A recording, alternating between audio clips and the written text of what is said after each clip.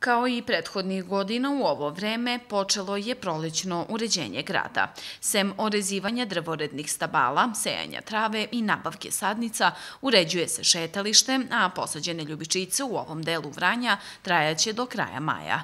Što se tiče radnika e, gradskog zelenila, oni su započeli sa prolećnim uređenjem, orezivanjem drvorednih stabala, sejanjem trave, takođe nabavkom nekih sadnica. Sadili smo i drvored u ulici Kolubarskoj i Sime Pogačarevića.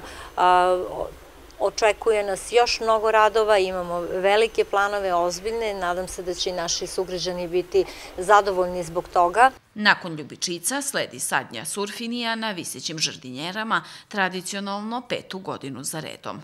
Jedan od projekata koji nam je u planu da realizujemo tokom ovih prolećnih meseci je uvođenje sistema za navodnjavanje u ulici Radničkoj na onoj zelenoj površini između dve saobraćene trake, sejanje trave i nabavka i sadnja cvetnih sadnica San Patijensa, tako da će nam ulazak u grad od samog znači, skretanja za grad pa sve do semafora kod Alfe biti sa cvećem, a što je još važnije, to će se dobro održavati obzirom da je u planu uvođenje te podzemnog zalivanja i tog sistema kap kap. San Patiens je biljka prepuna krupnih cvetova, lepih i upadljivih boja, masivna, izuzetno otporna, posebno podnosi osunčan prostor i cveta do mraza.